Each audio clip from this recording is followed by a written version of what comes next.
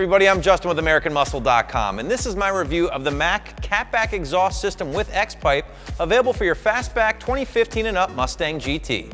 All right guys, so who is this system gonna be for? Well, it's gonna be for the 2015 and up GT owners out there who are in the market for a full catback system, would prefer that full stainless construction, and would like to keep things underneath that $1,000 mark. Now at the time, that is going to limit your selections here at AM to the MAC's system I have with me here in this video, also their Pro Chamber exhaust, in addition to the Flowmaster systems, which do barely sneak in there, and finally the MBRP systems, which at this time are the most affordable here on the site.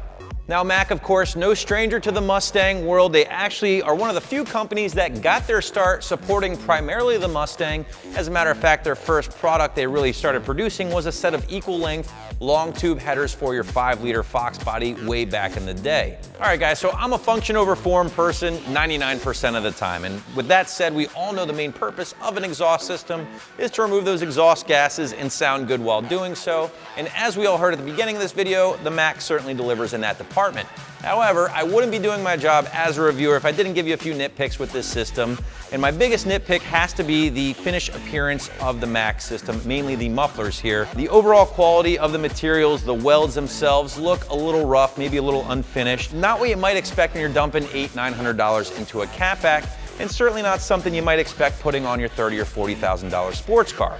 But again, that being said, this is an exhaust system. It is going to live underneath the car, and for the most part, you're not gonna see this system with the exception of those tips, and it does sound really good. And a big part of that is the included X-Pipe here, which typically would give you a little bit more rasp, but along with these flow path mufflers here from MAC, it does actually deliver a more deep tone. It still is a solid volume, so for three, maybe even creeping up on a four out of five on my one to wake the neighbor scale, it is loud, but the total combination here keeps things at a sane level. Getting into the construction here with the MAC Catback, we are again talking about a full stainless steel system, 409 grade to be exact. That does include the two and a half inch mandrel bent tubing, the included X-pipe, which we talked about earlier, leading into the flow path mufflers here from MAC and out these rather large four inch polished tips. Now, even though these mufflers do look like a traditional chambered muffler, they're actually a straight through design muffler by nature, so it is gonna help you out with a little bit more performance and increase your volume overall. One of the nice things about this catback, or most catbacks for your 2015 and up GT for that matter, is the ease of install. Easy one out of three wrenches here, guys, on the difficulty meter. Not really hard. No cutting needed whatsoever. Direct bolt-on install. And you should be making some noise in about an hour or two from start to finish.